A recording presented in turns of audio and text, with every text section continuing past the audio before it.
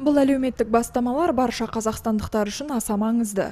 Елбасының тапсырмасына сәйкес колледждер мен университеттер 2022 жылға дейін жекеменшік мемлекеттік серіктестік көмегімен кемінде 25 мың орындық жатақхана салуы керек елбасының бастамаларына байланысты бізге өте көп жеңілдіктер жасалған. Яғни 2019 жыл бізде жастар жылы атауына байланысты өте көп жеңілдіктер студенттерге де жалпы бізге жаңа жатақхана салынып жатыр. Біз әрине қуаныштымыз бұл жатақхананың салынып жатқанына. Көптеген алғыс айтамыз елбасымызға осындай бізге жеңілдіктер жасап біздің жағдайымызды жасап жатқанына.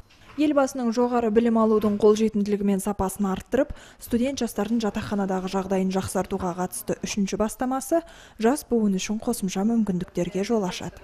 Бізге алла жазса үш төрт жыл ішінде тоғыз этажда жатақхана салуды жоспарлауда. Сол себепті мен де ойлаймын осы далада жүрген студенттердің барлығына жатақхана берсе барлығы жақсы болар еді деп ал негізгі біз жалпы осы жатақханада тұрғанымызға өте мақтан тұтамыз. Еліміздің жарқын келешегінің кілті жастардың қолында екені анық.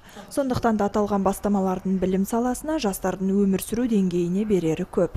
Айжан ақтаева павел соловьев шоқан тәукеев көкше ақпарат.